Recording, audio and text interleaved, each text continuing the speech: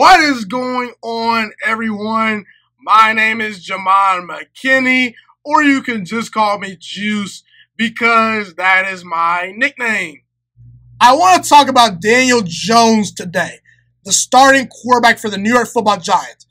I believe in Daniel Jones as an NFL starting quarterback. I'm going to try to convince you as to why you should believe in Daniel Jones if you don't believe in him already, okay?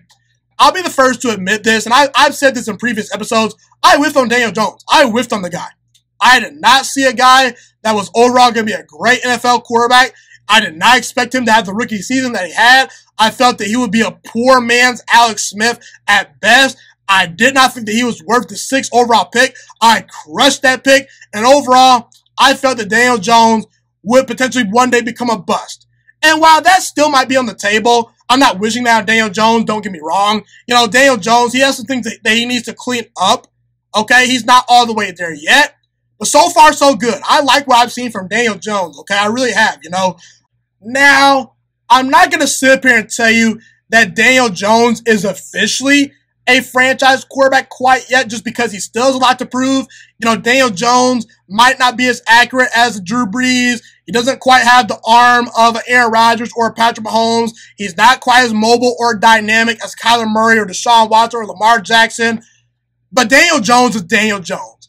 And Daniel Jones, being Daniel Jones, can become a legit franchise quarterback one day. And I believe that if Daniel Jones gets the right support around him, he will be the long-term starting quarterback for a long time for the New York football Giants, and I believe that he can win you a lot of games, okay? Last year, Daniel Jones fumbled a lot. He had 18 fumbles. His pocket presence as of right now is borderline atrocious. He did throw some dumb interceptions last year, but let's be real. He was a rookie quarterback. He's going to make mistakes. There was some bad with Daniel Jones last year, but let me tell you something right now. There was also a lot of good with Daniel Jones last year, despite his struggles, okay? Daniel Jones showed me that he's a tough kid last year. He showed me that he has the mental makeup to be the franchise quarterback for the New York football Giants. This guy continued to deliver strikes down the field despite playing behind a bad offensive line. This guy was booed on draft night. He didn't you didn't hear a peep from him. He didn't go to Twitter. He didn't bash anyone. He barely talked to the media. He says all the right things to the media. He handles the media very well. Daniel Jones in his first ever start in the NFL. Had an 18 point comeback on the road versus Tampa Bay. And Tampa Bay, they have some real players in that defense. Lavonte David, Devin White, um, you know, uh, Vita Vea, Ndamukong Suh, Shaq Barrett, JPP.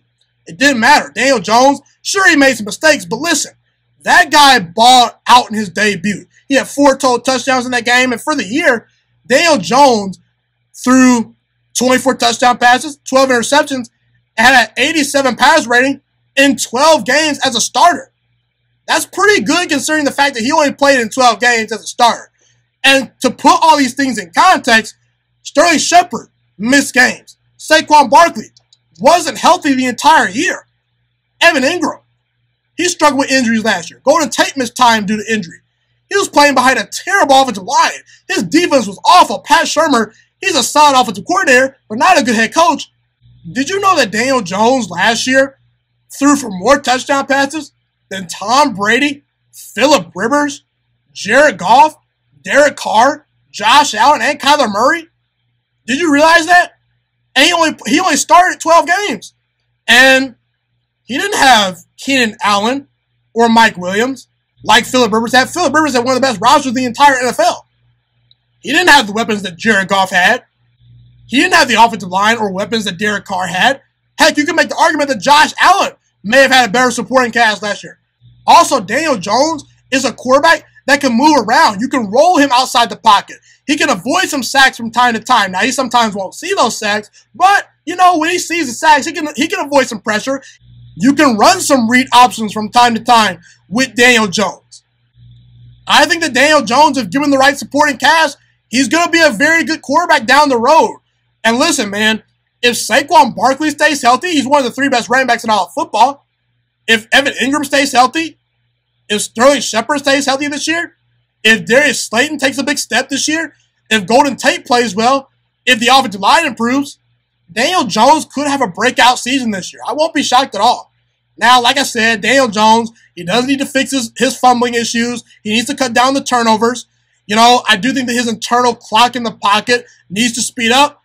And I think that Daniel Jones sometimes needs to just calm down a little bit. He's a, he sometimes was a, was a batter in the batter's box that was just looking to hit the home run. Sometimes Daniel Jones, you know, you need to just sit sit back and take the check down. Check it down to Saquon Barkley. Take what the defense gives you. Don't try to be a hero. But honestly, man, I, look, I'm going to tell you something right now. I'm not sold on Joe Judge as a head coach, but if Joe Judge is a good head coach, and if this offensive line improves, and the Giants continue to build around Daniel Jones, there's no reason to think that this guy cannot win football games in the National Football League. I threw out the statistics to you. Did you watch the games he played? Daniel Jones is tough as nails in the pocket. He's not afraid to get hit. He's not afraid to push the football down the field. He's a very solid decision maker. He's accurate when given time. He's a 6'5 quarterback that can move outside the pocket and make plays off schedule. According to Joe Judge, the guy's work ethic is off the charts. There's a lot of things to like about Daniel Jones. Now, he's going to continue to get better and better and continue to progress if he wants to continue to survive in the NFL because he's not going to become what I think he can become if he continues to throw those dumb interceptions, if he continues to fumble the football away consistently. But if Daniel Jones fixes his issues, and if the Giants build around this guy, and Daniel Jones gets the right head coach for him, there's no reason to think that Daniel Jones cannot become the long-term franchise quarterback for the New York Football Giants.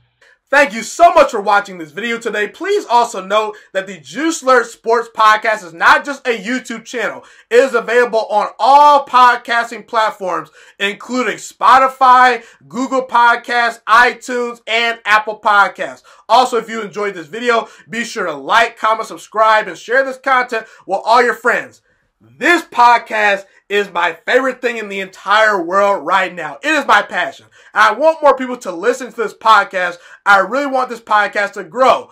Also, a fun fact about me is that I want to go into the sports broadcasting and media world once I graduate from the University of Toledo, a college in Northern Ohio. I am looking to become one of the next great sports broadcasters and analysts out in the world. And I potentially would like to start my own network if this podcast really truly grows or if I fall short of that goal, I would love to work for a big time network like ESPN or Fox Sports 1. I am open to all networks. So if you believe in my dreams and you see or hear my passion through the screen, be sure to tell all your friends about the Juice Alert Sports Podcast. Stay motivated, you guys. Have a God bless day, and I'm out.